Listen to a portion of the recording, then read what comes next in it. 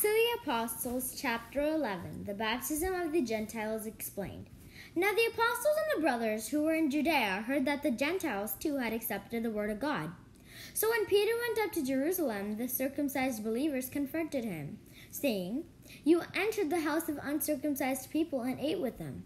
Peter began and explained it to them step by step, saying, I was at prayer in the city of Joppa when in a trance I had a vision.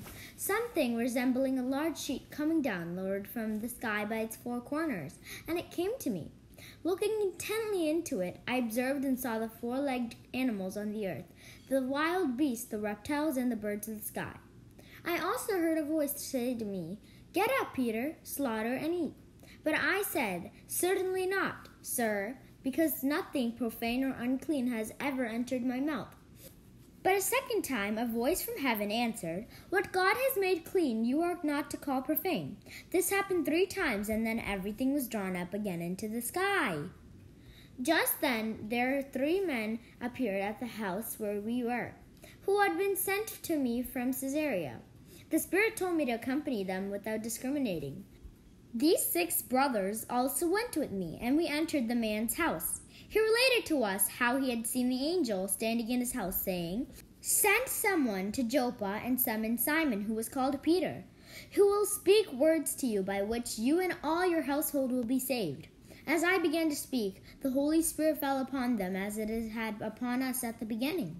And I remembered the word of the Lord, how he had said, John baptized with water, but you will be baptized with the Holy Spirit. If then God gave them the same gift he gave to us when we came to believe in the Lord Jesus Christ, who was I to believe in to hinder God?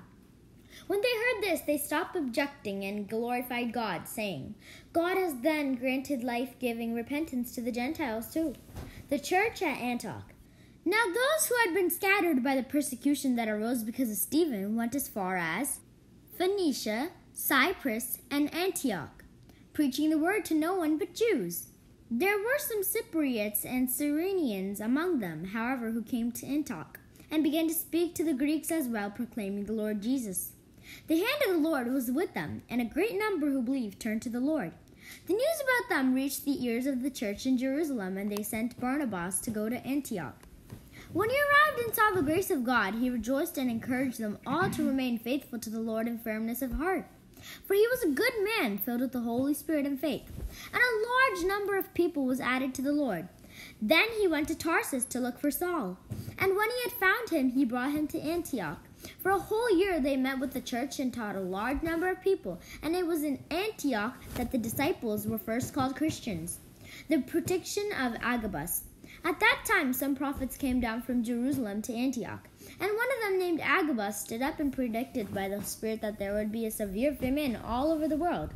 And it happened under Claudius. So the disciples determined that, according to ability, each should send relief to the brothers who lived in Judea.